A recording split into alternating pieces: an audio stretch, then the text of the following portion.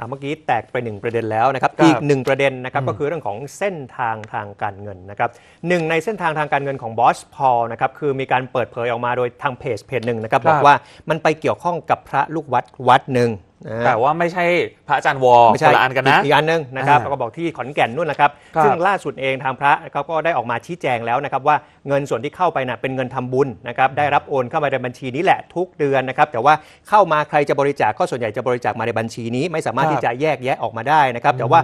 รวมๆแล้วนะครับประมาณ 3 ล้านบาท แต่โอ้ยืนยันนะครับว่าใช้ในกิจของสงฆ์และงานพัฒนาพื้นที่วัดเท่านั้นครับ จากกรณีนะครับที่เพจที่ออกมาเผยแพร่นะครับก็คืออีซอขยี้ข่าวนะครับมีการโพสต์ภาพกับข้อความนะครับข้อความและโพสต์ที่บอกเนี่ยเขาบอกว่าอย่างนี้นะฮะว่า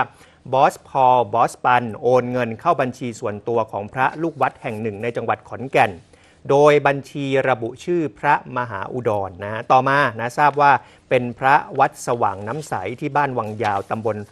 บ้านหันอำเภอโนนศิลาจังหวัดขอนแก่นนะฮะพอมีโพสต์แบบนี้ขึ้นมาครับปุ๊บแน่นอนนะครับ ผู้สื่อข่าวพุ่งไปเลยนะครับครับที่ขอนแก่นนะฮะผู้สื่อข่าวก็ลงไปก็ไปพบกับพระมหาอุดรนะครับ ท่านอายุ 65 ปีแล้วนะครับอ่าเพิ่งเดินทางกลับมานะครับหลังไปจำพรรษาอยู่ที่วัดในกรุงเทพทางพระมหาอุดรเนี่ยก็ได้พาผู้สื่อข่าวไปดูฐานพระเลยนะและพระพุทธรูปฐาฐานกว้าง 4 เมตร หน้าตัก 3 เมตร สร้างอยู่ทางทิศตะวันตกของเจดีที่บอสพอลสร้างไว้นะครับแล้วท่านก็ยอมรับนะครับว่าบอสพอลเนี่ยเคยมาที่วัดแห่งนี้เมื่อปีที่ผ่านมาเพื่อมาร่วมทอดกระถินด้วยนะครับแต่ทางพระมหาอุดรยืนยันนะครับว่าไม่ได้รู้จักกับบอสพอลเป็นการส่วนตัว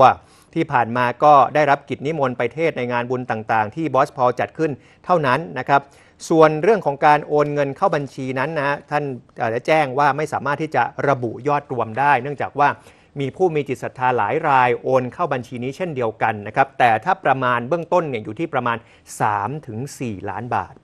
ทีนี้ผู้สื่อข่าวก็ถามถึงสาเหตุที่เปิดบัญชีส่วนตัวรับโอนเงินเนี่ยนะครับ ทางพระมหาอุดรก็บอกว่ากะ เพราะว่าการเบิกถอนเงินจากบัญชีวัดน่ะขั้นตอนมันยุ่งยากนะครับ ส่วนที่มีคนวิพากษ์วิจารณ์ว่าไม่เหมาะสมนั้นนะท่านก็ยืนยันว่าตัวท่านเนี่ยบริสุทธิ์ใจ เพราะว่าเงินที่ได้มาเนี่ย ก็นำไปใช้ในกิจของสงฆ์ซึ่งก่อนหน้านี้ท่านก็ชี้ให้เห็นหลักฐานนะครับว่าก็นำไปจ้างในการติดตั้งเสาไฟฟ้ารอบวัดนะขุดเจาะบ่อบาดาล ก่อสร้างโบสถ์ก็ใช้เงินก้อนนี้แหละนะใช้ในศาสนกิจ นอกจากนี้ยังนำเงินไปพัฒนาวัดอื่น ๆ ที่อยู่ในพื้นที่ตำบลเดียวกันด้วยนะไปฟังเสียงท่านหน่อยครับชีหลวงพี่เนี่ยมันจะมีมีคนโอนเข้ามาหลายหลายที่ไม่ใช่เฉพาะคณะนี้นะครับ ที่ที่มาทำบุญที่วัดสว่างน้ำใสถ้าถ้านับเฉพาะบอสพอนี่ประมาณเท่าไหร่ครับที่ที่เคยโอผนมเงินคิดว่าอ่าตั้งแต่ทำมาอย่างที่หลวงพี่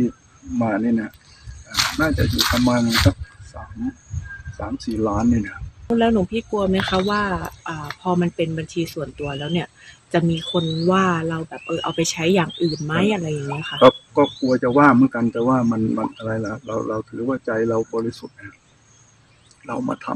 ำทุกบาททุกสตางค์